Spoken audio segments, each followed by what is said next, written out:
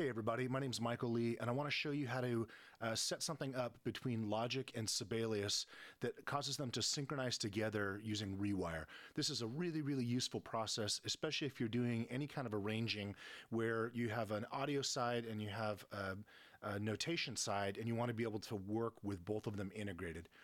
Um, so I'm, I'm starting a project here and I've I got my audio file in here and I've got it beat mapped out so that all the bars and beats are lining up inside of Logic the way that I want them to.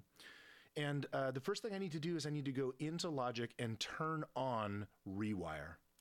I'm going to do that by going to the Preferences, Audio, and here under Devices, you'll see that there's a setting for Rewire Behavior. And by default, this is set to off. And what I'm going to do is I'm going to reset it to live mode. I'll apply the changes.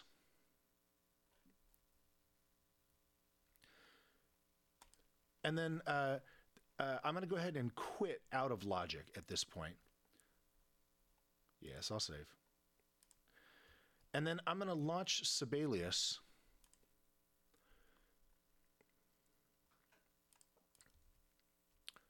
And as this comes up here,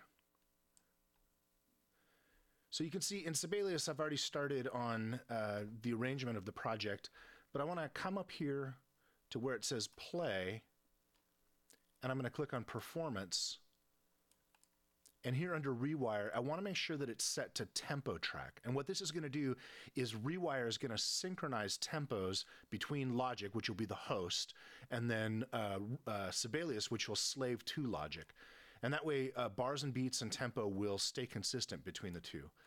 I'm going to hit OK, and then here's the weird thing. I'm going to I'm going to quit out of Sibelius because I need to launch the host first. Now that I have both of them set up the way that I want them to go, I'm going to start by launching Logic as the host.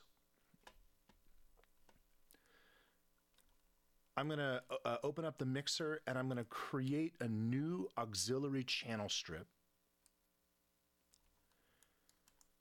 And I'm going to set the input to that strip to Sibelius. Now, if, if you don't have Rewire enabled, this won't show up as an option. But once you do, when you select Sibelius as the input for the aux channel strip, uh, it tells Logic to function as the rewire host for Sibelius, and the audio from Sibelius will now channel into this aux strip in Logic. Once I've done that, I can launch Sibelius, and now Sibelius will will launch in rewire mode, knowing that it needs to slave to Logic.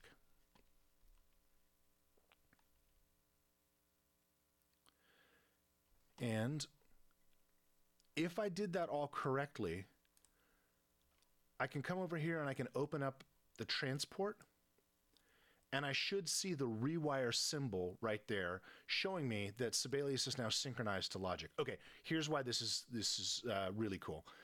I can come here in Logic and I can go to any position in the song and I can hit play.